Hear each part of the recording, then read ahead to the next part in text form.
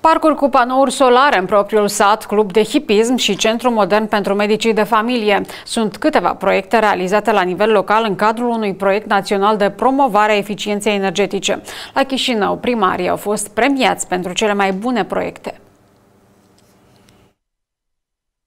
Cel mai impresionant proiect este cel din satul Feștelița, din raionul Ștefan Vodă, unde a fost creat primul centru de excelență în eficiență energetică din Republica Moldova. Satul folosește acum energia solară și biomasă la maximum. Proiectul ambițios în valoare de peste un milion de euro a fost lansat în 2013. Pe lângă sponsorii străini, banii au fost alocați de primăria locală și Agenția pentru Eficiență Energetică.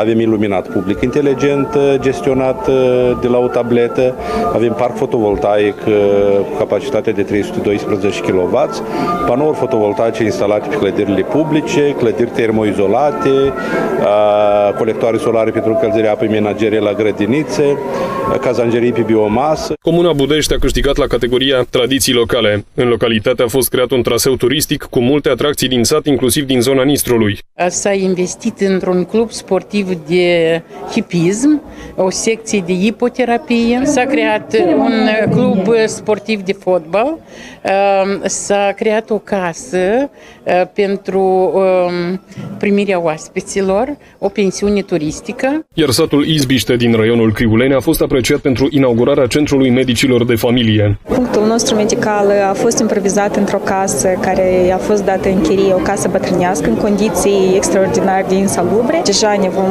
muta în sediu nou și oamenii vor primi servicii de calitate medicale, dar nu în condițiile care s-au aflat până acum. În mediu, un proiect local a fost realizat timp de 2 ani. Proiectul a fost început în 2019. Per total, costul acestui proiect a fost de 4 milioane și ceva de lei. Un mulțumesc că aparte vreau să fac Casei Naționale de Asigurări în Medicină, care ne-au susținut și ne-au ajutat în etapa finală la acest proiect. Premiul național pentru cele mai ambițioase proiecte din sate este acordat deja de 15 ani de IDIS Viitorul. În 2021, în cadrul concursului au fost examinate 64 de dosare.